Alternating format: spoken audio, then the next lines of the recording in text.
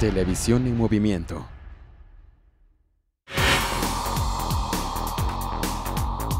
Bien, y este es parte del escenario que tiene el Hospital General Laureano.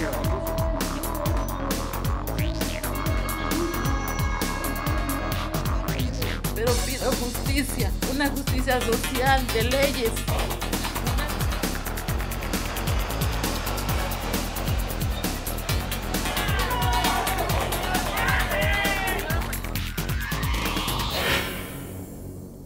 Auditorio, les saludo con gusto. Iniciamos Espacio Ciudadano este lunes 13 de junio, 12 horas del día. Tocamos temas de interés, temas que a usted y que a nosotros pues nos eh, corresponde estar perfectamente bien enterados. Esta transmisión la hace posible MBM Televisión a través del canal 152 de Isila. Puede seguirla totalmente en vivo a través de internet. Le doy la dirección www.mbmtelevisión.com y por supuesto que todo el contenido de Espacio Ciudadano puede usted consultarlo a través de las redes sociales. Hay una página diseñada especialmente para eh, llevarle a usted todo, todo el contenido de los programas. Es muy fácil acceder a ellas a través de la página de Facebook. Eh, póngale usted ahí Espacio Ciudadano, le va a aparecer de inmediato esta página en donde le damos a conocer todo el contenido de nuestros programas. Las líneas telefónicas 205-6300, mensajes de texto 951-172-5797. Quedó atrás ah, eh, ya este proceso electoral que tuvimos el 5 de junio, una semana más un día de, las elecciones en 14 entidades del país. en 12 de ellas, ya lo sabe usted, se eligió gobernador. Eh, Oaxaca, bueno, pues ya tiene los resultados. ¿Cómo le fue a Morena este partido político de reciente creación? Prácticamente un niño, porque son dos años en los que figura ya en las grandes ligas. Eh, en el 2014 tuvo la oportunidad de participar en las, en las, elecciones del Distrito Federal y créame que realmente sorprendió porque desbancó al Partido de la Revolución Democrática en el gobierno de hoy. La Ciudad de México ya no es Distrito Federal. ¿Cómo le fue en Oaxaca a Morena? Pues créame que realmente tuvo resultados impresionantes. Es, es, todo un fenómeno este partido político, este partido considerado de izquierda. Hoy platicamos precisamente con la presidenta de Morena, Nancy Ortiz, a quien recibo cordialmente y saludo en este foro. Nancy, bienvenida. Buenas tardes, agradezco la invitación, pues aquí estamos representando a Morena. Están representando a Morena. Eh, cifras altas las que ha alcanzado este partido político en su debut en las elecciones de este 2016, 5 de junio. Eh, los resultados que finalmente dan a conocer las autoridades son los que esperaba Morena obtener. ¿Esperaba más? ¿Esperaba menos? Morena esperaba más. Más, pero pues con la situación de, de la compra de votos, lo que todos sabemos, pues estos son los resultados que tenemos, pero la gente salió a votar, ¿no? Salió a votar y ahora pues ya están nuestros compañeros que van a ser mujeres y hombres diputadas, presidentas y presidentes municipales y que pues es nuestra primera elección estatal. Ya fue la segunda, la primera en el 2015 fue la federal, claro. ahora la estatal y que íbamos para ganar el, el gobierno del estado, ¿no? Pero con todo lo que ya sabemos, pues estos son los resultados. Un partido joven, un partido con altas expectativas de crecimiento, sin duda. Así es, Morena eh, vamos a crecer, estamos creciendo, es un partido en movimiento donde el trabajo se hace abajo, con las comunidades, con los pueblos, llegándole a la gente y que Morena va a gobernar México y por eso vamos a crecer más. El balance que hacen ustedes después de estas elecciones del 5 de junio, ¿cuál es? ¿Qué representación tienen ya en, el, en este 63 Congreso eh, del Estado que vamos a tener en próximas fechas? ¿Y cuántas presidencias municipales también logra Morena? Tenemos, vamos a tener nueve diputados. Nueve diputados. Nueve, cinco por la vía plurinominal y cuatro por la vía uninominal. Revisándolo, eh, están prácticamente representadas las ocho regiones, solamente las dos regiones que no está es la Cañada y la Mixteca. En la Mixteca fue muy cerrada la votación, pero que los compañeros, pues son mayoría mujeres las que van a ser diputadas. ¿Es realmente un fenómeno político, Morena?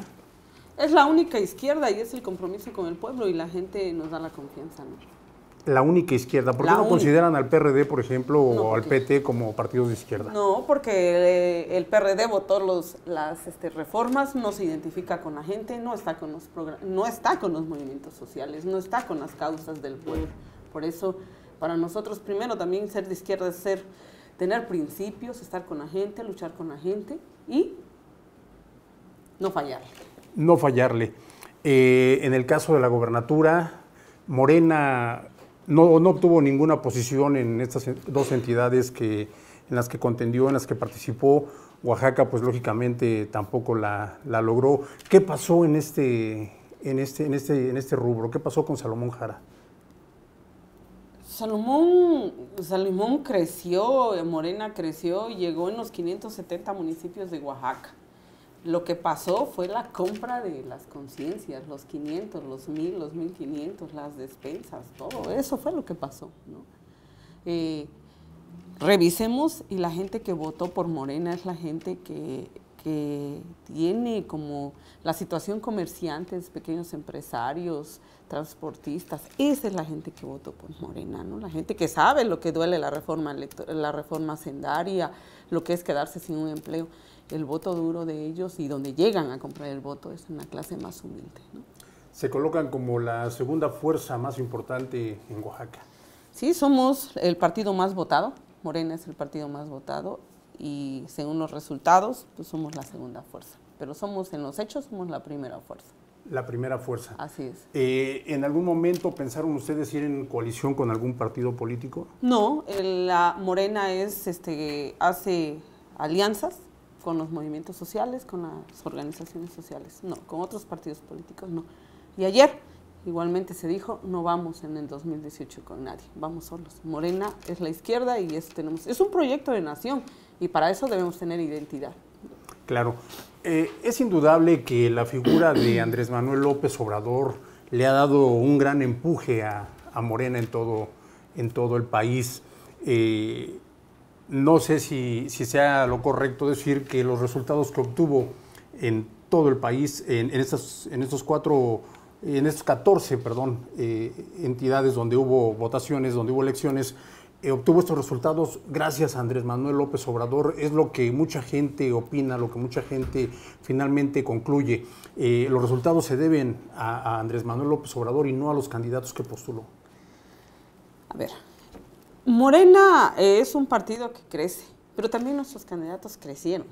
O sea, nuestros candidatos, nuestro candidato trabajó y llevó la propuesta y la plataforma y el compromiso de Morena a las comunidades, ¿no? Y claro, el liderazgo del licenciado Andrés Manuel Ló- López Obrador es el, el dirigente y el político más reconocido y más honesto y más con todos los principios en todo el país pues eso se suma, ¿no? La gente, eh, Andrés Manuel tiene su voto, tiene la confianza, pero también nuestro candidato creció, ¿no? Y eso que, que Andrés Manuel hizo y que tiene como partido y que él, que es nuestro dirigente, pues se llevó a todo el Estado, ¿no? Y la gente se identifica, ya la gente está aburrida de lo que está pasando, ¿no? La gente ya dice, vamos, salimos, ¿no? Pero lamentablemente contra el dinero, pues no se puede hacer tanto. ¿Qué pasaría si Andrés Manuel López Obrador no estuviera al frente de, Morena? ¿Bajarían sus bonos? ¿Bajaría el número de simpatizantes de Morena? ¿Sería un partido más? ¿Sería un partido como el Humanista, por ejemplo? ¿Partidos que no existen? ¿O partidos que como el PRS o el PSD, que eh, fue prácticamente su debut y despedida? Participaron y desaparecieron, no alcanzaron el registro, conservar su registro. No, esos son partidos no más oportunistas. Morena es un proyecto, ¿no? Y mm, sí, Andrés Manuel, pero también va, de- va a depender mucho de nosotros los dirigentes estatales y de nuestros compañeros que van a ser diputados y presidentes municipales que hagan un proyecto realmente comprometido con el pueblo. ¿no? ¿Cuál es la prioridad de Morena en este momento? Ya después de tener nueve, nueve diputaciones, este es eh, el número de, diputados con el que va a trabajar la bancada de Morena en el Congreso del Estado y 12 presidentes municipales. ¿Cuál es la prioridad en este momento de Morena? Pues tener en los municipios tener gobiernos este, honestos y comprometidos con el pueblo. Y pues los principios que tenemos, ¿no? No robar, no mentir y no traicionar, ¿no? Eso es lo que tendremos, nuestras primeras. Pero Morena es eh, el, el compromiso con la sociedad, con el movimiento, con el pueblo y, a- y entregarle buenas cuentas a, a- a los, a, las com- a los- a la sociedad, ¿no? En, la- en los- en la presidencia. Y con los diputados, que estén con el pueblo, que no traicionen al pueblo, ¿no? que hagan cosas y, y- y- y voten a favor del pueblo. ¿no? Municipios en donde pues el resultado no les fue favorable. Fueron municipios donde está muy cerrada la votación, como en Santa Lucía. ¿no? Eh, ahí fue descaradamente la compra de, de votos. Hay municipios donde pues tampoco podemos decir, eh, hubo, tal vez el candidato no trabajó, o son zonas muy rurales donde la gente, hay mucha necesidad y todavía llega pues la despensa, el recurso, ¿no? Y ahí valió más eso que la propuesta, ¿no? Y los presidentes, pues donde ganamos, son compañeros que han venido trabajando, muchos ellos en el, en el, en el proyecto, ¿no? Yo soy de la región de La Cañada, yo me siento muy contenta que ganamos Huautla de Jiménez. Y Huautla de Jiménez ese era un municipio que era gobernado por, por el PRD y que los compañeros con mm, la participación de casa por casa y hablar con todos, se ganó ese municipio tan importante. Igual que Jalapa de Díaz, que un municipio muy pequeño también de Tlacuacín, que está metido entre la Sierra Cuicateca y la Cuenca, se gana como Morena. ¿no? Son municipios y compañeros, muchos de ellos que han venido caminando, como Cotlán, ¿no? con el compañero Raúl, que es un compañero que viene construyendo. O sea, la gente conoce a los candidatos y se identifica, y pues ahí va, ¿no? Ahí va. Morena es la única izquierda, y Morena tiene el compromiso con la gente, con la sociedad. ¿no? En estos, en estos 12, 12, lu- 12 municipios en donde obtuvieron las- el triunfo en las presidencias municipales, la gente sin duda está esperando cambios importantes, cambios sustanciales. Eh, Morena para, para esas personas se ha convertido en la expectativa de cambio. Eh, el trabajo que tienen que hacer, lógicamente, tiene que ir eh, con la tendencia a no defraudar esta confianza que las- los ciudadanos han depositado en ustedes. Mire, en primera en Morena, este es los candidatos lo saben y firmaron el documento donde el 50% de su dieta, los diputados, lo tienen que donar al movimiento. Y es para la educación, para la construcción de las universidades. ¿no? Este ya es un compromiso. Ese ya es un compromiso que ellos lo firmaron desde que fueron, aceptaron ser candidatos.